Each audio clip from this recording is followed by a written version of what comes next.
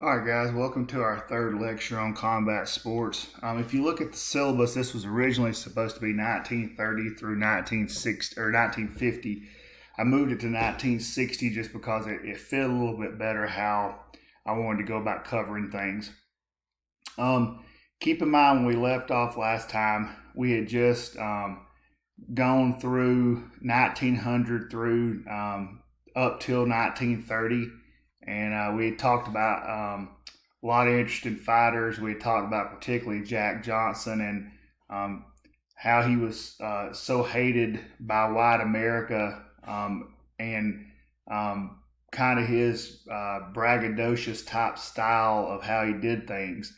Um, and the reason I bring that up is I wanted to, to frame it in the context of this lecture, and I want you to, to kind of understand that. So, you have to understand this era that we're about to talk this this 30 year era or so um, is, is really full of historical events. Um, the first being in 1929 when the stock market crashed uh, uh ushering in the great depression uh, a 10 year period where uh, we had over 20% unemployment sometimes as high as 30 33% and our gross domestic product of our um, our economic system was only around one uh, percent. So you have to kind of put that into context of of what's going on um, with sport. And so the first fighter we're going to talk about is James J. Braddock, the Cinderella Man.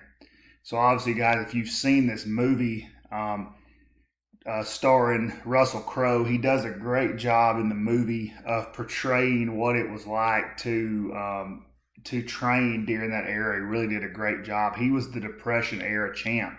So he was a heavyweight champ from 1935 to 1937. Um, had a, uh, a very, very uh, a good fight with Joe Louis um, and, and was a popular popular person, popular fighter during that really tough time um, in the history of, uh, of our country. Um, you know, coming out of the Great Depression, um, we really enter into a six year period of World War II.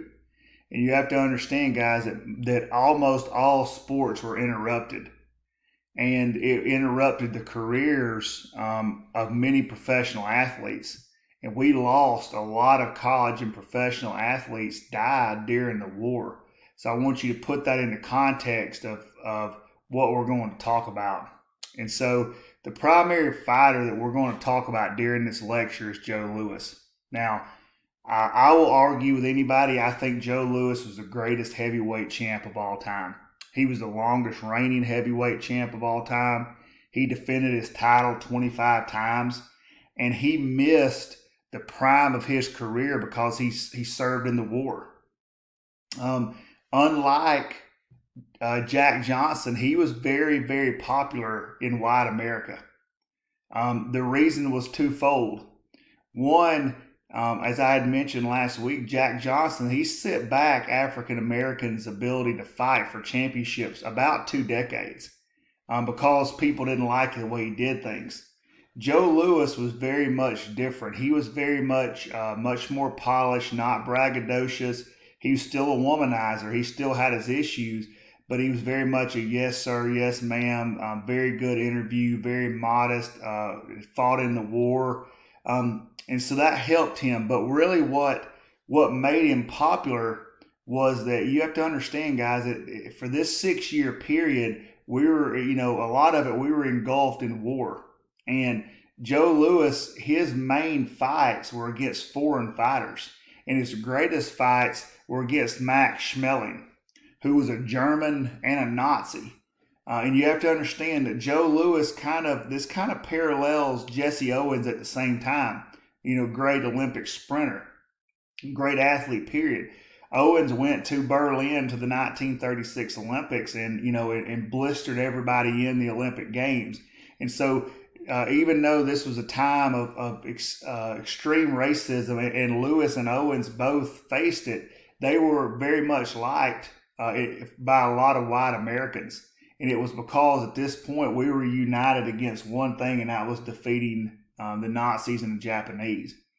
Um, he had actually lost to Schmeling in their first fight. He was out of shape. He had not trained very well. Took him for granted. Uh, in the 1937 title fight, he ended the, the match in the first round. Um, he landed one punch to the ribs of Schmeling and broke his ribs and ended the fight. Um, as Joe Louis aged, he, he struggled later in life with money. He got in trouble for the law. He didn't pay his taxes, and he his he was in poor health. And he ended up making uh, to in order to make money, he had to take some fights which he, he lost that he just needed to fight, and he he made his made money as a greeter in Las Vegas casinos when they had fight um, had fight nights because he was a popular fighter and he died in 1981. He was buried in Arlington National Cemetery. Um, and a couple of years ago, I took my family up to, to D.C. to visit. And when we went to um, to Arlington, I, I, made it a point to try to see if I could find his gravesite because, like I said, not only he, was he my favorite fighter, I, I have a hard time not thinking he's the greatest heavyweight champion of all time. And this on the right is his gravestone in Arlington. Um, following Louis, um, Rocky Marciano came in as the champ, and he was the champ from 1952 to 1955, and he retired as the only undefeated champ.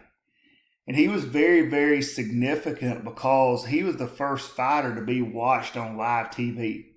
Keep in mind, prior to that, fights were recorded and shown in movie theaters. So people got to see Marciano fight on live television. Um, it was very much similar to what something like you would see now in um, like a Thursday night or a Sunday night football, Monday night football. There were prize fights on one night a week. He was also very popular because he was a white Italian. Um, he had some real significant fights, one versus Walcott and another one versus Joe Louis. And, and I, I mentioned that earlier that Louis later in his career needed fights to make money. Um, so Louis and Marciano fight, and Marciano crushed him he, Marciano did not want to fight Louis. Louis was his hero, and he did not want to fight him. And, and Louis, you know, pushed it, pushed it because he needed the money. Uh, and like I said, the, the fight was very lopsided. Um, some other fighters, like I said, primarily we'll cover heavyweight champions, but there were some other fighters at the different weights in this era that we need to cover. Henry Armstrong won world titles at featherweight, lightweight, and welterweight. Uh, he he held multiple titles between 1937 and 1940. He won all the titles within 10 months, and he held four individual titles at one time over four months, which is absolutely crazy to think about. Another fighter was Sugar Ray Robinson. He was born Walker Smith. He took the name Sugar Ray Robinson um, during his amateur time and he's considered by most people to be the best middleweight and welterweight of all time. He had a 25 year career, fought 202 times uh, with only 19 losses, and very much in, in, the in the grain of a lot of these heavy or a lot of fighters that we're going to talk about, combat sport athletes in general. He was known across the globe for his lifestyle. He drove multiple pink Cadillacs. He had somebody that was in charge of just shining his shoes. So he was um, uh, he flaunted his lifestyle, and, it, and like I said, for a lot of people, they make as much money in combat sports outside of the ring as they do inside the ring. So I hope you enjoyed this lecture. I look forward to looking at your first assignments, um, and uh, you guys have a great week.